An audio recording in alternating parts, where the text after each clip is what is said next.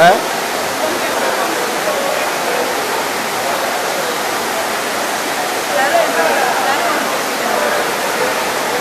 is an example of showers of blessing.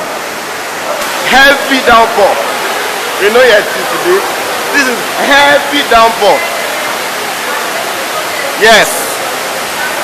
This is what we call heavy downpour. Where your blessing is like this, heavy downpour. You will enjoy it, it will last and it will last and it will not stop. I received heavy downpour of blessing, just like this rain. Do you receive it too?